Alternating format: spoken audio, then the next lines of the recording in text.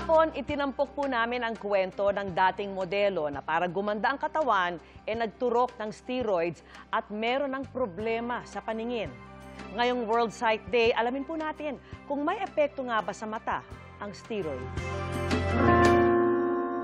Laman ng iba't ibang modeling events noong 2012 ang 29 years old na si Mads.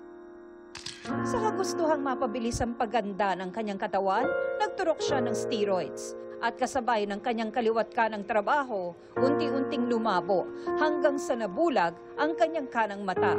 Naghati-hati kami. Sa anim na bayan, ano kami doon? Apat. Dalawa doon, patay na. Nagka-glaucoma rin, tas nagka, dinamdam po. Makalipas ang tatlong buwan, nawala na rin ng paningin ang kaliwa niyang mata, kaya agad niya itong pinaoperahan noong 2019. Si Mads lumapit sa GMA Kapuso Foundation para siya ay mapagamot. Sa pagdiriwang ng World Sight Day, sinamahan natin siya sa isang ophthalmologist sa Asian Eye Institute. Doon sa kanang mata, yung wala nang nakikita, yun yung parang ang tinatawag natin absolute glaucoma. Yan yung left eye niya, no? Yan yung nung tinest ko, may nakikita pa siyang ilaw. Ang nangyari raw kay Mads, posibleng side effect ng pagtuturok ng steroids.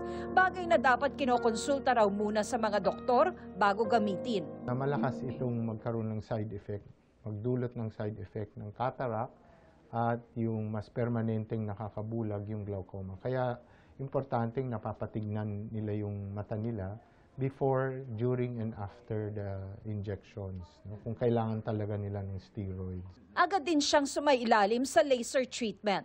Itatry natin kung kaya mag-improve pa yung paningin doon sa low vision glasses. Ah, Nakakapag-improve ng contrast, ng magnification, Mga kapuso, tulungan po natin si Mads para sa kanyang tuluyang pagaling. Nagka-improvement po. Medyo lumiwanag na. Papasalamat ako lalo na sa GMA, sa Kapuso Mo Foundation.